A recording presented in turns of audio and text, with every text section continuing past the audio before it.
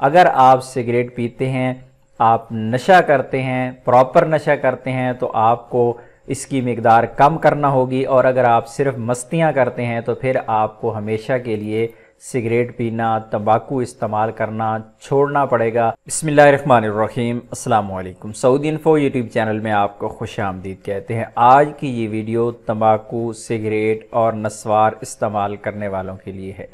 Saudi Arabia में तंबाकू और सिगरेट ऑलरेडी बहुत ज़्यादा महँगे हैं, नस्वार ले जाने की इजाज़त नहीं है।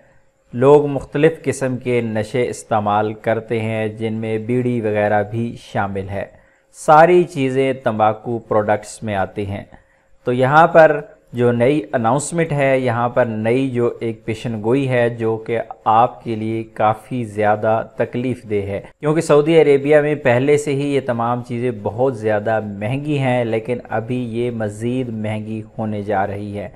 जिस तरह आप यहाँ पर देख सकते हैं, ख़बर आजिल आजिल की तरफ़ से ये न्यूज़ है, और इसमें बताया गया है कि secretary of the national tobacco control committee इन्होंने कहा है कि जो प्राइसेस हैं इस वक्त सऊदी अरेबिया में, तंबाकू के जो प्रोडक्ट्स हैं, तंबाकू में जितनी भी चीज़ें आती हैं, चाहे वो हुक्का है, चाहे वो सिगरेट है, चाहे वो नस्वार है, ये सारी चीज़ें जो हैं, इनकी कीमतें कम हैं बनस्बत दूसरे कंट्रीज़ के।